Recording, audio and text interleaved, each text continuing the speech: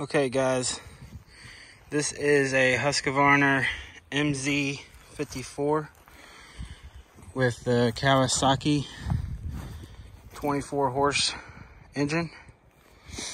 I just bought this from Lowe's maybe three or four days ago.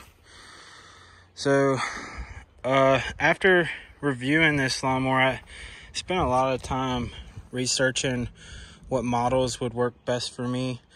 I do uh, obviously my own home grass, but I also do uh, commercial grade lawn mowing. Uh, this would be the one of the nicer models that, or the nicest model that you could even pick up from Lowe's.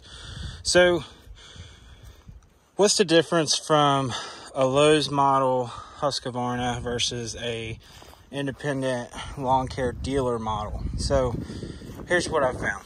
So whenever I was buying this lawnmower, I had, uh, you know, obviously did my research and I've come to some conclusions. So after checking this machine out, I noticed some discrepancies on how it was put together. These come in on a crate not fully assembled. They come in on a crate and the the seat's not attached and uh, the rollover protection system needs to be put in place.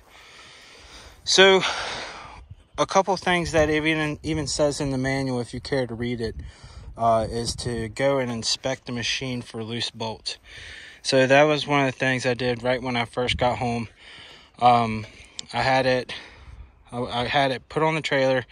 As soon as I had it home, while it was still on the trailer, I went through and started checking my hydraulic transmission and I checked my engine oil and oil cap.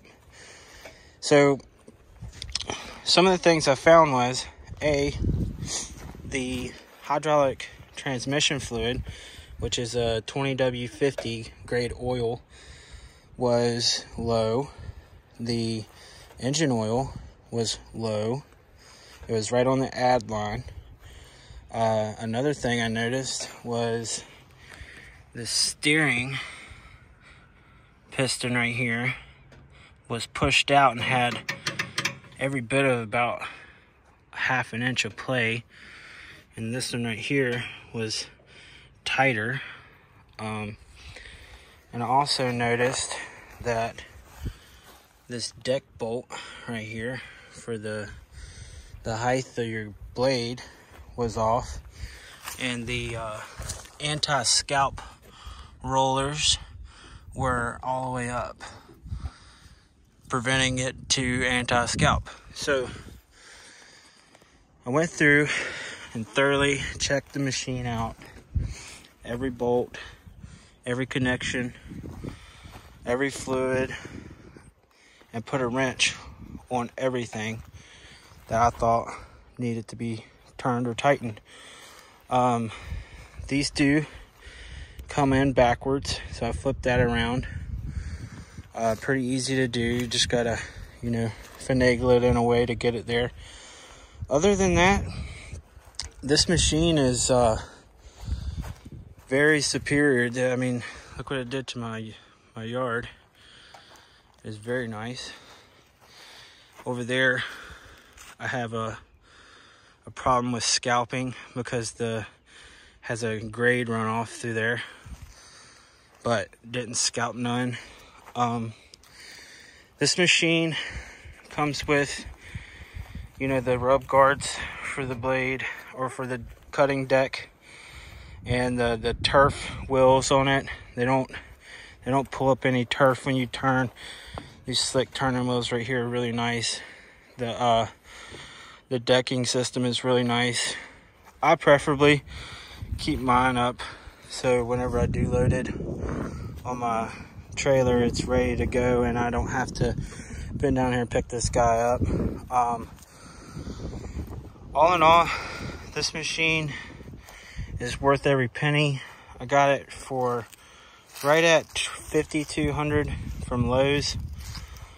And after, you know, checking everything out and getting everything uh, tightened up, I feel like this machine is going to be a very, very lucrative investment for my business. And uh, looking forward to maintaining my records because guys, this is this is everything. If you don't maintain your machines, don't get on there on Husqvarna website and call this machine trash when you never even read the manual or you never even attempted to maintain your fluids or check your belts or keep your machine clean. Another thing I haven't mentioned yet, this guy right here. This is supposed to have a pre-filter on it. I'm sure the, the Husqvarna sent in the packaging crate a pre-filter that went over this and it was discarded. Again, another, you know, hardware and store employee special. Start a job and not finish it. But if you go and do your due diligence on this machine and also add only non-ethanol fuel, you will not have any troubles out of this machine. I really hope this has helped someone out there that is kind of skeptical about buying from Lowe's. Um, again, if you do the due diligence yourself, you have a machine that is just as equally great as if you bought it from a specific Husqvarna dealer, um, in my opinion. If you have any more questions about this machine, please drop them in the comments below, and I will do uh, a six month review or, you know, a 20 hour update or Right now I'm sitting at 30 minutes. That's what it takes to mow my two acres here. So here we are. And what a pretty machine. Thanks guys. Subscribe, like, favorite, comment.